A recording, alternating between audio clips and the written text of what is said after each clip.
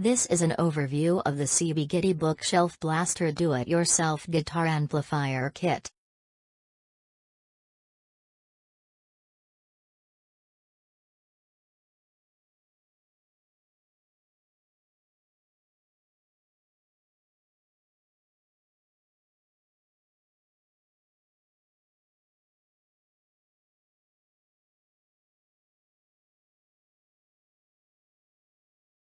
Once the wooden parts were separated from the plywood sheet.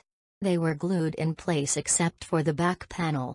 Be very careful with the side with the opening for the battery box. In this video, it is positioned incorrectly and the front and back panels had to be switched.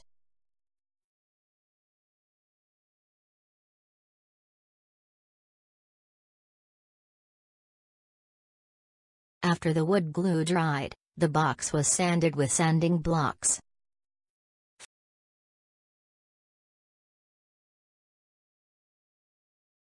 Four coats of a dark walnut stain were applied to the case.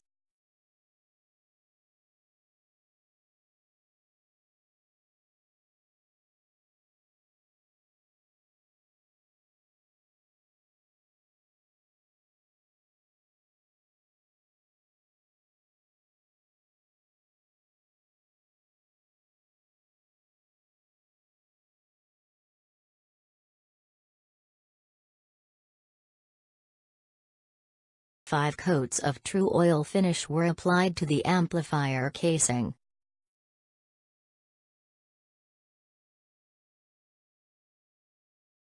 Wires were soldered to the various components.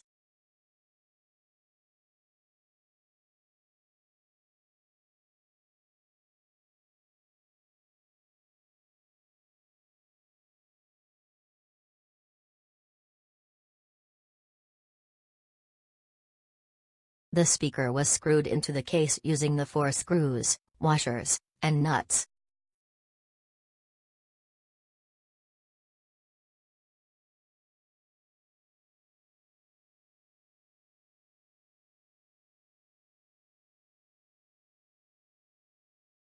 The volume switch and input jack were fastened into place.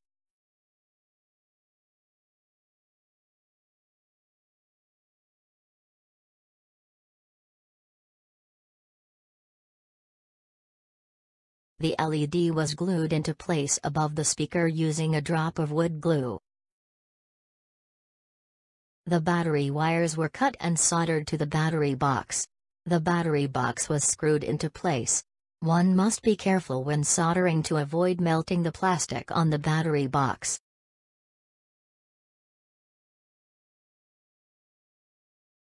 The amplifier was tested for function using an electric guitar.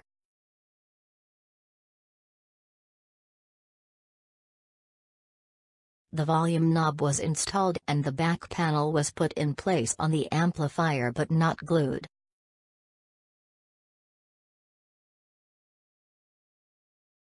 This is what the final project looks like. Thank you for watching this video. Please hit the like and subscribe buttons for more videos.